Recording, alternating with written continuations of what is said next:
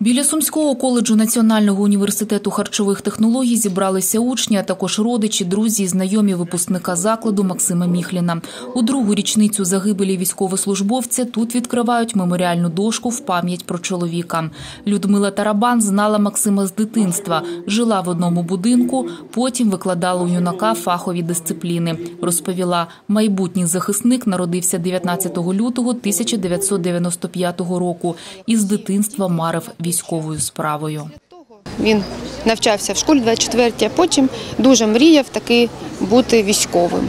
Але вступити в кадетське училище в щось не, склалося. Він вступив до нас в коледж на спеціальність виробництва хліба, кондитерських макаронних виробів та харчових концентратів. Навчався, як і всі діти, не досить із цікавістю, але все в нього вдавалося. Він досягнув своєї мети і завершив наш заклад, отримав диплом молодшого спеціаліста, але мрія його таки збулася. Він спочатку був е, на контрактній службі у Національній гвардії, а потім вступив в Національну академію військову та що в Харкові. Закінчивши академію, спочатку був у Кропивницькому, а потім пішов служити в Азов. Максим вступив до коледжу у 2011 році, закінчив його у 2016. Він обрав собі наймирнішу, мабуть, професію, яка є у нас взагалі в світі. Це технолог виробництва хліба.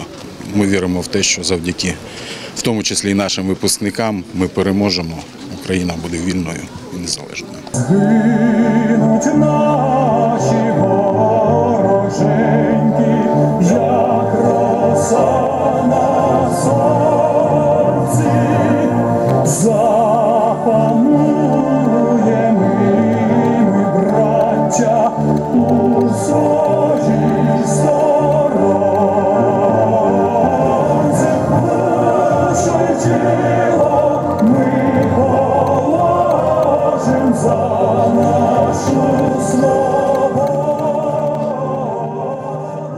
пішов на завдання, написав мені сообщення, що він е, в- 23 марта, і потім е, написав, що не буде з ним зв'язку.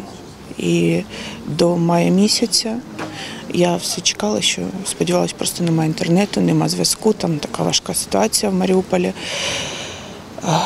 А вже коли почався вихід з Азовсталі, Мені зателефонували, сказали, що він загинув, але е, це нема свідків його загибелі, і е, якби в Маріуполі всі з- е, зниклі безвісті. Це практично загину, е, загинувши. Вісім місяців ми шукали, писали по всім колоніям, тюрмам і сподівалися, що нам відповідуть, е, прийде відповідь, що він там, що він живий. Але потім е, в 20 Получається, да, в ноябрі 22-го року ми знайшли його е, в Дніпрі похованим як е, невідомого солдата. Після цього сина перепоховали на центральному кладовищі в Сумах. Максим був єдиною дитиною батьків. Його батько теж військовослужбовець збройних сил. Про чоловіка згадує дівчина загиблого воїна. Він для мене був дійсно таким неймовірним явищем, немов світле, маленьке і добре сонечко, тому що тільки він міг мене заряджати своїм теплом, своїм добром, своєю енергією, своєю харизмою і таким палким бажанням йти до своєї мети. Максим перший і єдиний хлопець, ем, про якого я думаю засинаючи, і про якого я думаю просинаючись. Максим запам'ятався мені дуже сміливим, е, хоробрим та добрим хлопцем. Ну таких дуже мало, як він. Якщо, якщо чесно, то я навіть таких більше не зустрічав людей. Його всім дуже не вистачає. Всі по ньому скучать. І ну, він був дуже гарним хлопцем. Максим Міхлін посмертно нагороджений орденом за мужність третього ступеня.